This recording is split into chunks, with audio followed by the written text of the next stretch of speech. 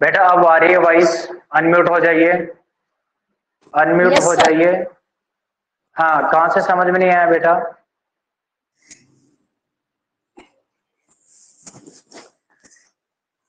एक बार रिपीट करूँ क्या सभी को? सर आ गया रहने दीजिए। ठीक है। एक बार लिख लीजिए इनको सबको लिख लीजिएगा। लिख लीजिएगा। इसके बाद सेकंड सेल हम स्टार्ट करेंगे। ए एग्रेनुलर लिकोसाइट या फिर एग्रेनुलर ग्रेनुलर या तो एग्रेनुलर लिकोसाइट राइट इसको हम क्या करेंगे? स्टार्ट करेंगे। इससे पहले मैं आपको क्या करता हूँ बेटा? समझा देता हूँ। एक बार समझ लो, फिर मिटाऊँगा मैं इसको। राइट देखो इधर। यानी कि ग्रेनुलर डब्ल्यूबीसी दो प्रकार की होती है। एक तो ग्रेनुलर होती है, दूसरी कैसी होती है? ए ग्रेनुलर होती है। यानी कि ऐसे डब्ल्यूबीसी जिसके साइटोप्लाज्म में ग्रेनुल्स प्रेजेंट होता है, उसको ग्रेनुलर बोलते हैं। और ऐसे डब्ल्यूबीसी जिसके साइटोप्लाज्म में ग्रेनुल्स एबसेंट होता है, उसको ए ग्रेनुलर बोलते हैं।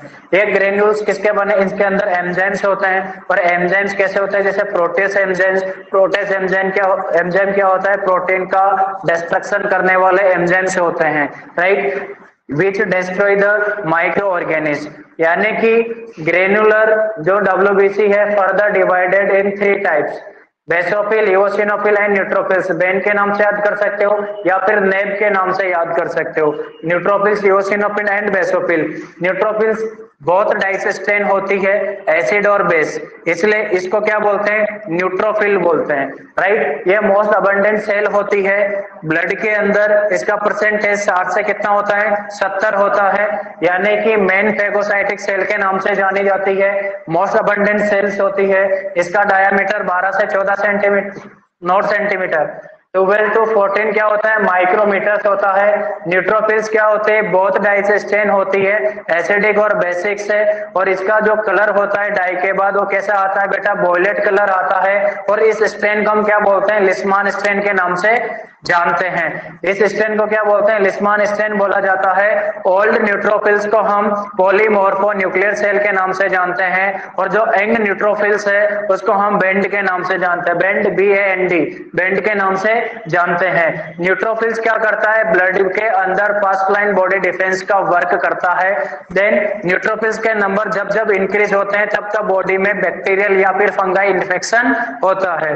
बॉडी में फंगाई और बैक्टीरियल फंगा इन्फेक्शन होगा, तब तब न्यूट्रोफिल्स के नंबर इंक्रीज देखने को मिलेगा। सेकंड सेल है बेटा ग्रेनुलर के कौन? इओसिनोफिल ये एसिड लविंग सेल होती है, इसलिए इसको हम क्या बोलते हैं? एसिडोफिलस के नाम से भी जानते हैं। इसके ब्लड के अंदर परसेंटेज कितना होता है? दो से चार परसेंट होता है। इसका डायमीटर 10 से 14 माइक्रोमीटर से होता है। टेन टू 14 क्या होता है? माइक्रोमीटर होता है। इओसिनोफिल नाम से पता चल रहा है। इओसिन डाई से होता है। इओसिन डाई एक एसिडिक नेचर की होती है और डाई होने के बाद इसका जो कलर आता है, वह रेड ऑरेंज कलर आता है।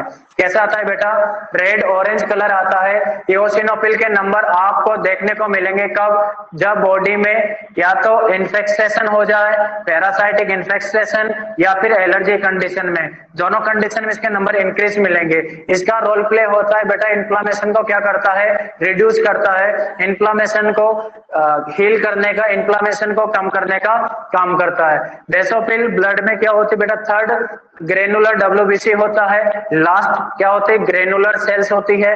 बेसोफिल बेसोफिल नाम से पता चल रहा है। बेसिक डाई से स्टेन होता है। बेसिक डाई कौन सी? मिथाइल इन ब्लू होता है। उसके बाद ब्लू कलर होता है स्टेन के बाद। कौन सा कलर आता है? ब्लू कलर आता है स्टेन के बाद। ब्लड में इसका जो परसेंटेज होता है वो कितना होता है? लिस्ट अमाउंट में होता है। 0.5 से 1 परसेंट होता है। देन बेसोफिल का जो मेन इंपॉर्टेंट रोल प्ले होता है, वो किसमें होता है? हीलिंग प्रोसेस में होता है। किसमें होता है?